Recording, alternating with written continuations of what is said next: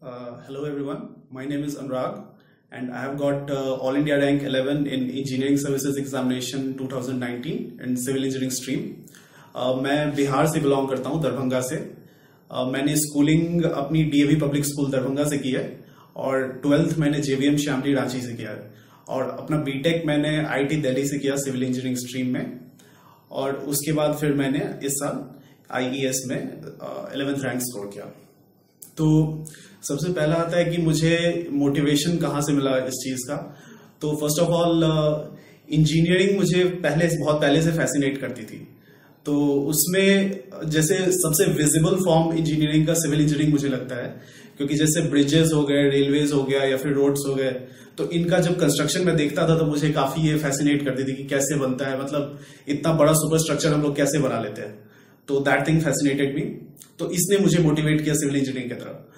और मुझे public service का भी काफ़ी मेरे अंदर एंथुजियाजम है।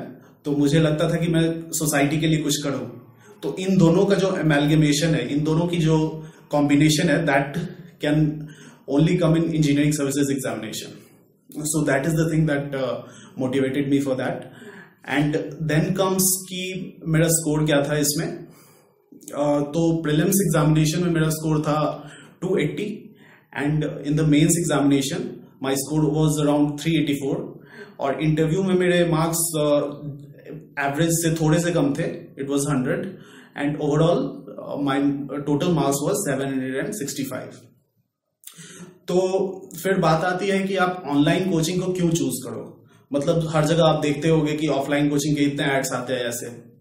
तो सबसे पहले मेरा आपसे यही सजेशन होगा कि uh, आप भीड़ को मत देखो। आप ये मत देखो कि लोग क्या कर रहे हैं। आप अपने बारे में सोचो। जैसे मैंने अपने बारे में सोचा कि आप, जब ऑफलाइन कोचिंग के लिए यहाँ आते हो, दिल्ली आते हो तो then you are sacrificing a lot of other things also जैसे आप घर का अपना इन्वायरमेंट छोड़ते हो, जो इमोशनल सपोर्ट सिस्टम होता है, आप उसको छोड़ते हो।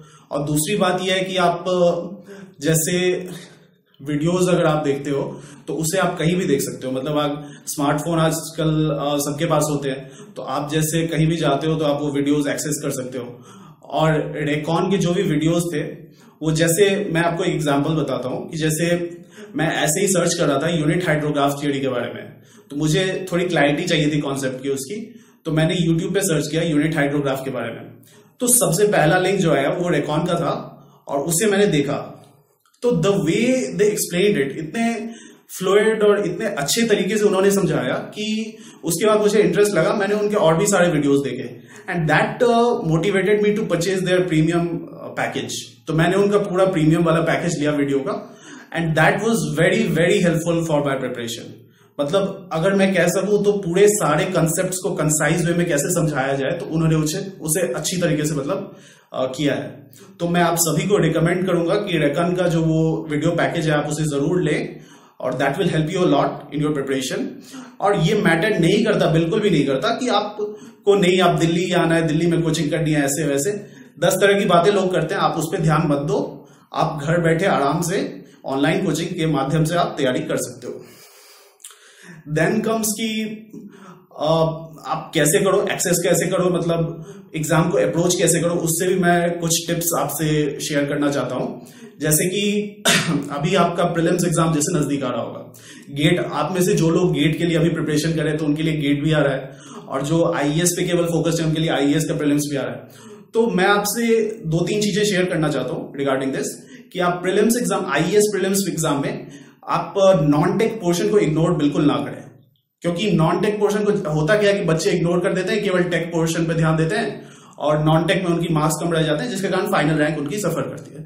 तो मैं आपसे रिक्वेस्ट करता हूँ कि आप नॉन टेक पोर्शन को बिल्कुल भी इग्नोर ना करें।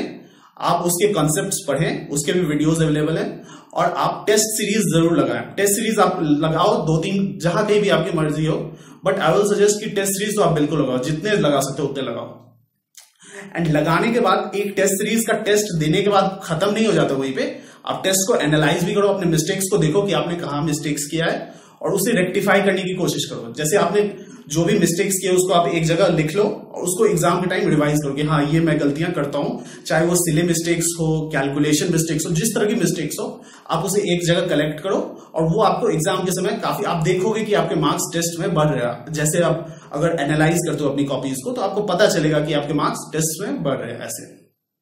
तो that is the thing regarding I S prelims और गेट के लिए आप टाइम बाउंड प्रैक्टिस करो तीन घंटे में, और कैलकुलेटर आप कभी भी मैनुअल वाला, हाथ वाला लेके मत बैठना। अब जो कैलकुलेटर ऑन स्क्रीन कैलकुलेटर आपको एग्ज़ाम में मिलेगा, उसी कैलकुलेटर पे आपको प्रैक्टिस करनी है ऑनलाइन टेस्ट देके। तो that is the thing regarding GATE और mains examination is a different ball game उसके लिए आपको राइटिंग प्रैक्टिस चाहिए। कि स्टेप्स कैसे लिखते हैं कैसे करते हैं वो। तो वो सारी चीज़ें वीडियो में एक्सप्लेन की, की हुई है अच्छे से। तो I would suggest once again कि आप लोग ज़रूर खरीदे उस पैकेज को।